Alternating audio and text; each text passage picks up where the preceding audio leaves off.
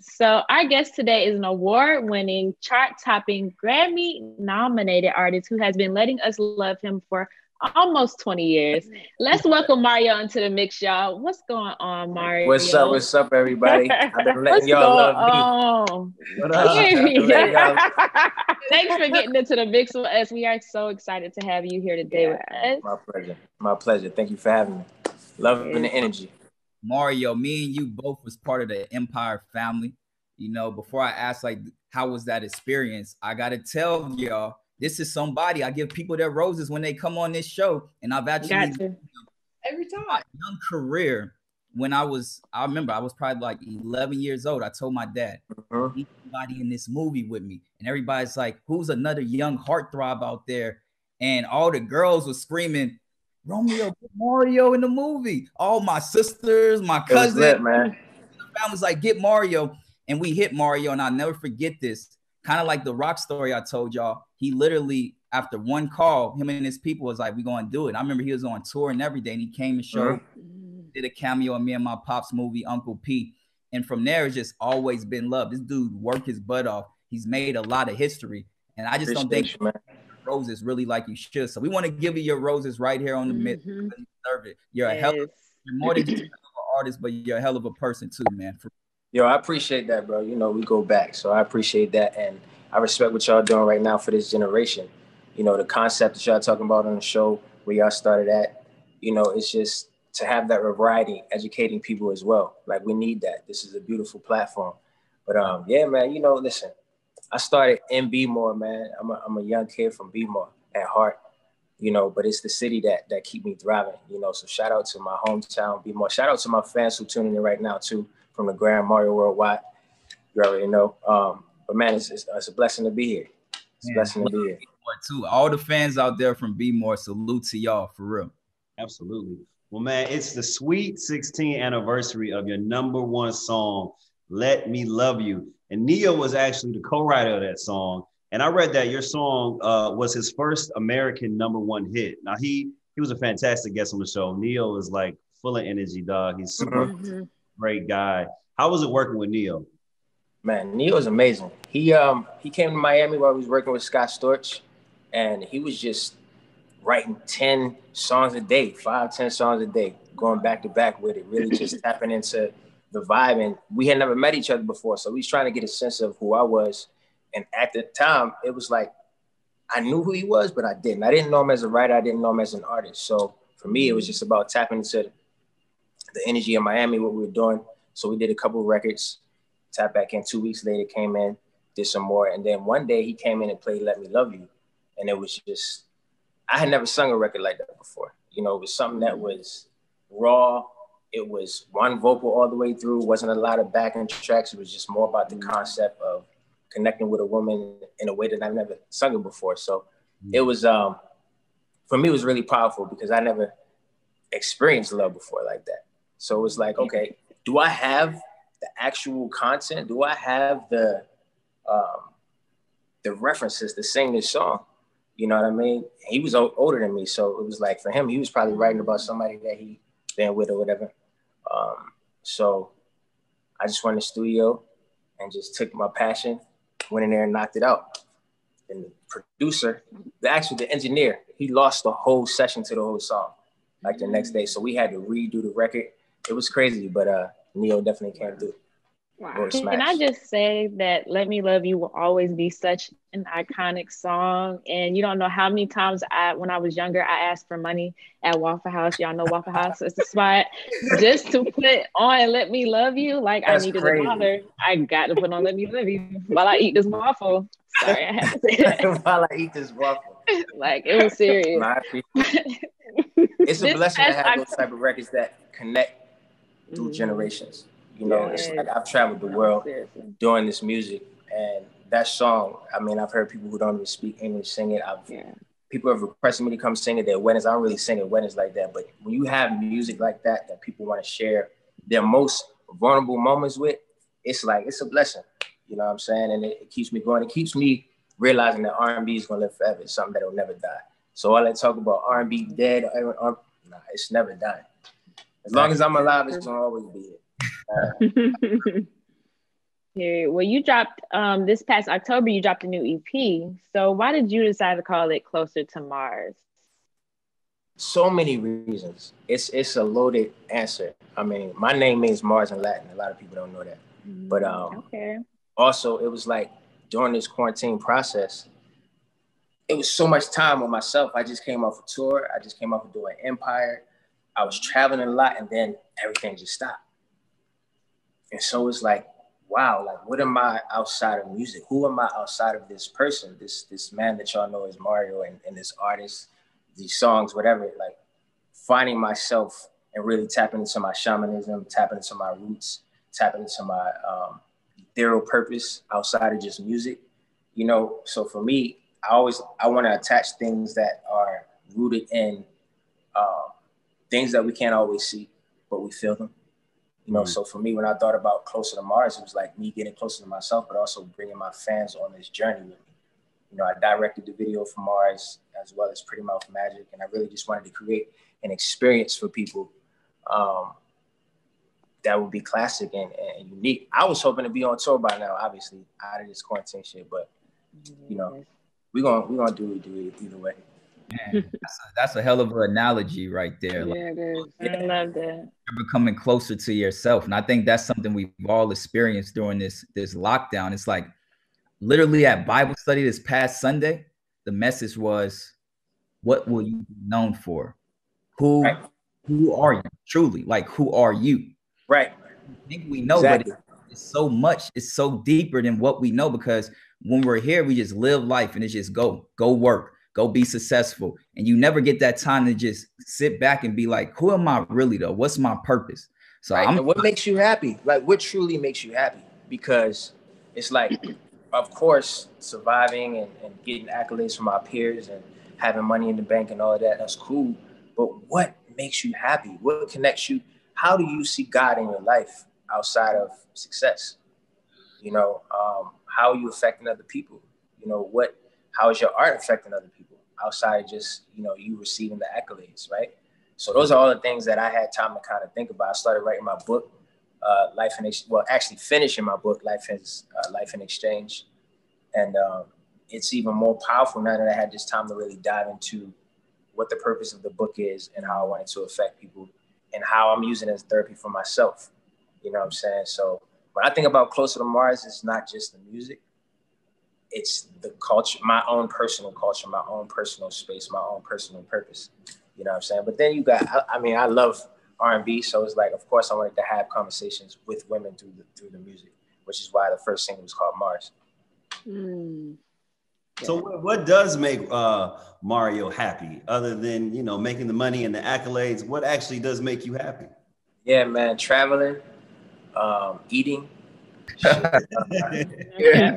you know, writing, watching movies, chilling. Like, you know, I enjoy a little bit of everything, you know, but for me, what makes me most happy is seeing my creations or my, my creativity in the flesh. Mm. You know, being able to take something that I just thought about, whether it be a song or a lyric or a visual idea, and like really seeing it manifest into the flesh. Like it's nothing like that for me. You know, um, I think that makes me most happy because it shows me that I literally can do anything. Like, you know, and it's it's really just up to me and my efforts and, and how much time and energy I'm willing to put into it. You know, um, and being on the road, touring. I love touring. I love being on the road. I love performing in different cities. Going back to cities I went to before to see like uh, as my fan base grown is like, you know, mm-hmm. how do they connect with different songs? How you know, it's just it's an amazing experience. So speaking of um, performing, you're putting on a huge virtual event for your fans on Valentine's Day. So can you tell us about that? The luxury of love. Well, first of all, before we get into that, I want to say that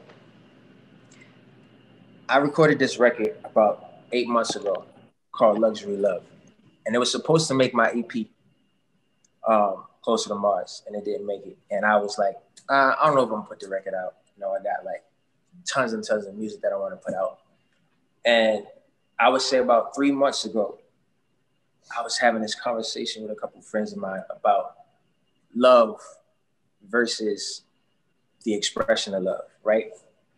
And I think this concept of love is just a big thing to talk about right now because there's so much lack of it in the world right now, right? We see it all around us. It's just mm-hmm. constant clashing of the titans, clashing between family, friends, competition. Like everybody's racing to get, you know, but it's like the absence of love is so strong that it's like I gotta put this record out. Like this record has to be because it's not just about the music; it's about the concept, the luxury of love. The song is called "Luxury Love," and one of the things that I think is is kind of my driving point in the record is that not everybody has the luxury to love and the luxury to experience love, right? So it's like mm-hmm. What you have to do to get to the point where you're actually loving yourself in a real way, the work that it actually takes is so underestimated. Mm-hmm. Like there's so much work that goes into that. So when you finally get to that point, it's a luxury. It's literally a luxury to be able to apply that to your life, to yourself, and to the people you love, and to somebody else you love. So that was the whole concept behind the song. And then I just wanted to kind of shape this experience around that. So when we talk about the luxury of love live, we're just talking about, you know, the the concept of self-love, the concept of, you know, not everybody can do it and not everybody can receive it, but it's something that we mm-hmm. should be doing. Absolutely. This man, Mario, is the love guru, man. That's all I'm saying. We need nah, to have. I wouldn't say that. I wouldn't say that. He's dropping gems because people don't realize to actually love, you got to love yourself. And even in the Bible, it said God said people have so many ways of loving. They use love and spread it. Then that they don't for, they don't remember that you have the choice to love. So it's not falling in love, but you have the choice to love. So just hearing you drop them gems, just put that on my. But I got to tell what y'all. y'all think? I mean, what, what y'all think though? Because like, do you feel like do y'all feel like love is like this this um what is love to you to you guys? I know it's different to everybody. Jasmine, what is love to you? I'm curious. Hmm. You got hmm. on. You looking royal. Mario. Thank you. what is love to you? Um, you know, for me at, at 24, it's just someone who is accepting of who I am and who is willing to grow with me.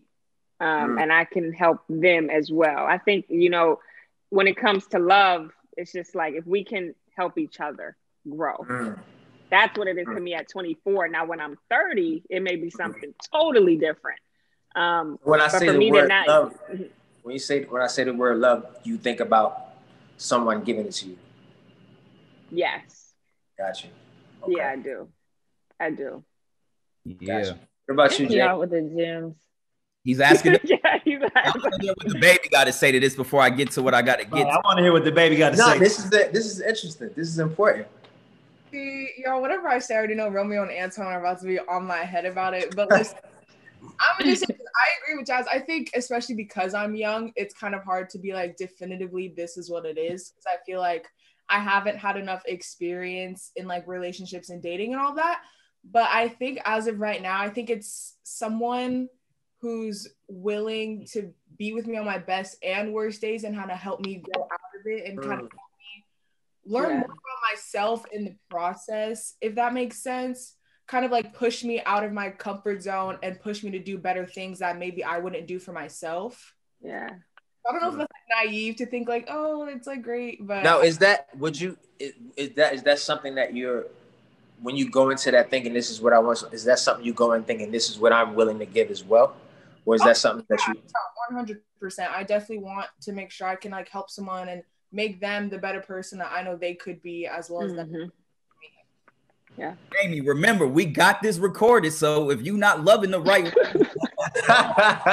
well, you know it's crazy. It's Look, crazy. Like, go ahead, go ahead, Romeo. They're telling me I got to get to this for you because you got oh, a very big announcement for your fans that's watching right now. Absolutely. So tell them what's up before we. Yeah. So, absolutely. Well, listen. Being that we are here live today, the show's in couple of weeks, 214, Valentine's Day. I wanted to take this moment to give away some tickets to two fans, virtual tickets. A lot of people ask me like, yo, I'm not gonna be able to make it to that show. I can't leave town. I got this, this the Rona's out there. I'm like, yo, it's virtual. A lot of people didn't understand that it's a virtual show. So everybody who's already got your tickets, y'all know. But if you haven't, you can watch it from anywhere. You can watch it from home. If you got it, you just had a baby, you can be shake watching the baby and, and, and watching the show at the same time. If you with your significant other, you can watch it with them. Um, if you're trying to get that significant other, you should purchase a ticket. Tell them you got it. You're taking them on a date. Why not? Right? Nah. Um, so, but today we're going to give away two tickets to fans. Uh, all you got to do is go on my live at Mario Worldwide right now and just tell me why you get you, you want the tickets. It's that simple. We want to pick two people. Okay. Mario Blessing people out here. two tickets and a virtual meet and greet. So it's going down live on our show tonight. Like he said, go on his IG live right now. Um, we're Let's streaming get it. and make sure you comment and tell us why you should win this virtual meet and greet with Mario himself. This man is a young legend. Like he said, I don't care if you just had a baby. The baby may be singing along with You. Hey, listen, the baby need to hear good music. I'm telling you, babies respond to good music too. And it's live. Come on, give that baby their first live performance. Let's get it. Me and my baby, me and my baby will be there. Don't worry about it. Like I hear you loud and clear. We will be there. Mario, you are always good to your fans, man. I know earlier in the quarantine you released your phone number to fans just to hit them up. Wow. So Yes, sir. How many girls have shot their shot at you since giving you their phone number? Man, you, I, I, to be honest, and this is the most humble way I can say it. Countless. The most It's- humble, it's countless. most humble way you can say it. That's the most humble way I can say it. Countless. I can't like I'm not even gonna try to count, but I can say this. Having had that experience with this self, like you really get to know people on a whole other level. Like I've had people tell me stories about things that I didn't even remember in ways that I've affected their life and, and mm. just like some fans I do remember from shows 10 years ago. You know, it's the beautiful thing about technology is that you can connect with people. Uh, I'm gonna tell you that number right now, just in case there's any fans out there who want to connect with me on here. But like it's it's amazing. I'm gonna show you all the messages right here. So it is a real thing. This is really my number. I'm really my text messages, just so y'all know it's not fake. The shit is really going up. So all you gotta do is text me 410, kept the beat my number, of course, 709 7431. But uh yeah, it's fun on it. We having fun on that, man.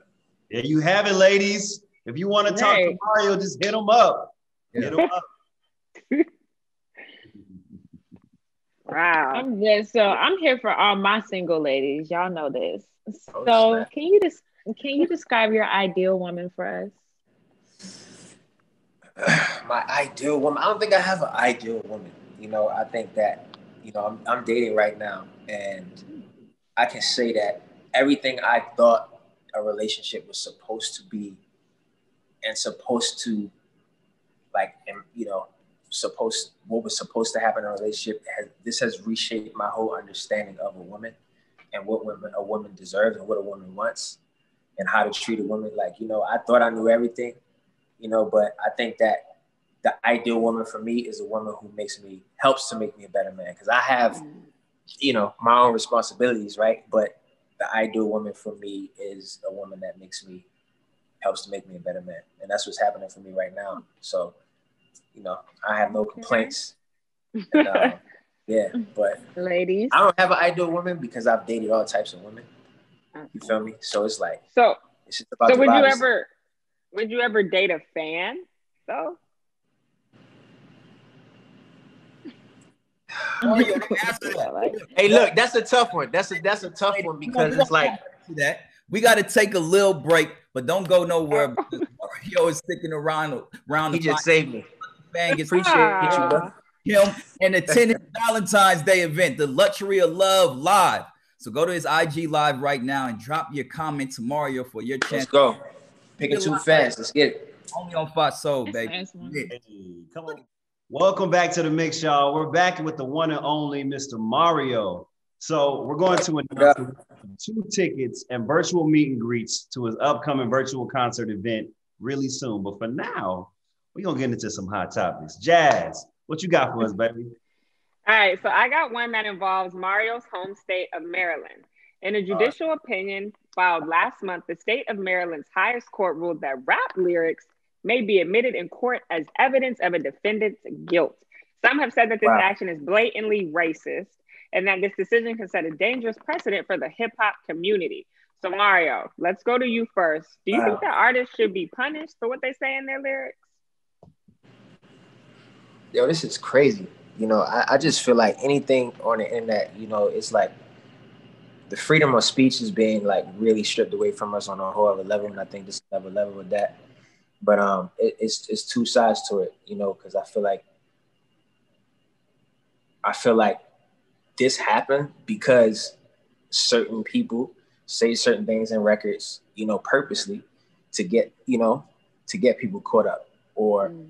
a lot of social media or uh, what you call them, bloggers create problems with other rap, like you know what I'm saying, that that just get the whole system involved in things that don't need to be involved in. I think it need to go back to what it used to be. Real gangsters moving silence. Period. Everything that happened in the street need to stay in the streets. and got nothing yeah. to do with, you know, the song. It need to go back to that. Like I, I definitely don't feel that as though it's it's fair, but it's never been fair for us, you know, in the system. So we know that the system is completely broken. So it's only going to get worse if we don't, you know, stand up and fight for it. I definitely think it's something we should fight against for sure. Because it's like you, you can't take away somebody's creativity of telling their story. Yeah. You know what I'm saying? Like people use music as therapy. Yep. So for me, it's like you taking away someone's freedom right there, right there, like their way to eat. I mean, I agree. I was gonna say exact thing. Like that's how people express themselves. Like telling Picasso he can only paint a certain type of picture. You know what I'm saying? Hmm? Yeah, it's crazy. Yeah. That's crazy. About this, it's like why can we make any movie? These actors be, you know, the total opposite of who they're playing. Look at Scarface. You know, he was acting to be. Exactly. He was acting in a violent way. So are we blaming that movie the same way we're blaming rap lyrics? But like Mario said, he hit a real point. They know who they're targeting in this. Yeah. Yeah. yeah. No, real talk. But all right, guys, it's time to announce the winner of Mario's giveaway. I've been waiting for it. So all right, so let's get it. So the first name I'm gonna go with right now. This is the Instagram at Rise Above It 31. You've won tickets. Mm. The luxury of love live. We will reach out to you. And the second name is Carmel 31. Wow, 31 is a lucky number. Mm. So y'all want your tickets. Luxury of Love Live going down 214. Um, like I said, I'm really excited about this show, man. It's gonna be an incredible show. Definitely the best R&B show on Valentine's Day. Ladies, all y'all should tune in. I'll make sure y'all get tickets because I'm gonna try to be there. Oh. fellas, well, fellas too. Pull up. well, Mario, we want to thank you so much for getting in the mix with us today and doing that dope giveaway. You guys make sure that you grab your tickets to his virtual concert, Luxury of Love, live, happening on Valentine's Day. Download his latest EP, Closer to Mars, too. And thanks again, Mario. Thank y'all for having me. Beautiful you, show. Mario. Pleasure. So we, we got to take a quick break, you guys, but we'll be right back with more.